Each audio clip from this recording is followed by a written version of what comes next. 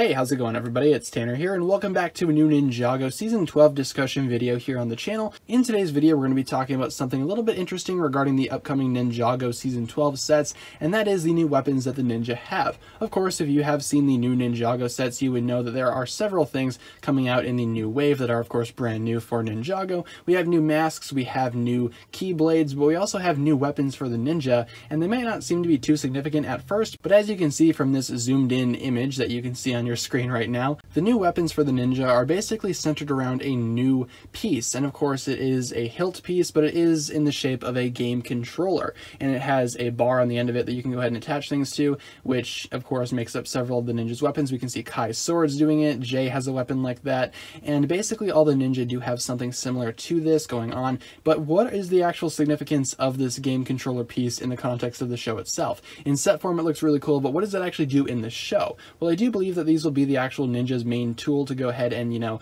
navigate this digital world or whatever realm they're in, whether it be the Digiverse or Ninjago itself gone digital, whatever it might be. I believe these weapons will help the ninja navigate through this area and find the Keyblades, which in turn will get them new power-ups and new weapons, possibly new abilities. I already did a video on what the Keyblades might do and everything about that, so be sure to go ahead and check out that video if you want to hear a little bit more about what I think about that. But in terms of the actual game controller pieces themselves, I think they'll just be used for navigation, and of course they will be weapons of course. Uh, Kai has swords, Jay has some weird flail thing, I believe Lloyd has a sword as well. Not too sure about that one, but I believe all of the ninja will be getting weapons using these new game controller pieces. And I do really enjoy the piece itself, it's a nice white color, I like the way it looks, and in terms of its significance to the plot, again, I do believe it'll just be used for navigation purposes, and these will be the ninja's main tool in defeating, I guess, whatever it might be, whether it be Unagami or some other villain, and who knows, maybe we can actually have AI Zane being uploaded into this game piece as well. It is white, so you know, all we can do is basically hope and theorize. And again, nothing I said in this video is 100% confirmed as being